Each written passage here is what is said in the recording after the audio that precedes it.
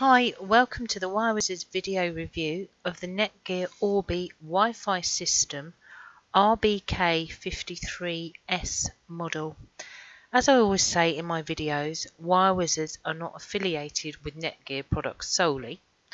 We as a company choose from a range of products that suit the customer's needs and requirements. So, what are the situations where we would install these units? So we've had one instance has been where it's been impractical to run Cat5 cable. And by that I mean garden offices where the customer doesn't want cable run through the garden. Another instance has been where we have installed these is where the customer wants high performance because they have a lot of smart home devices or lots of video streaming.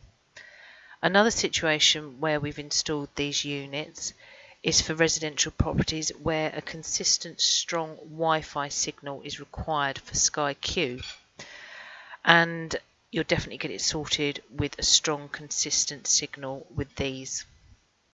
So what comes in the box? You get one router and two satellites. You can buy additional satellites and routers if needed.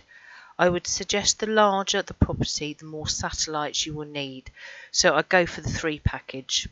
Let's go through some of the things that this can do. As I run through the next part with the features of this, I will just put some pictures up of us on screen installing these.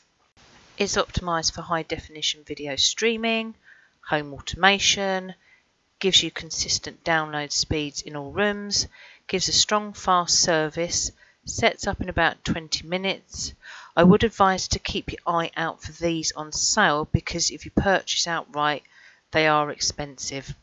You do have to be aware it does advertise parental control as part of this product. Check out the screenshot. In fact, this is a yearly subscription to Circle with Disney. Don't hold me on to this statement as things change, but I think it's around £100. Thanks again for watching. Follow us on Facebook and Instagram. I'll put the links down below.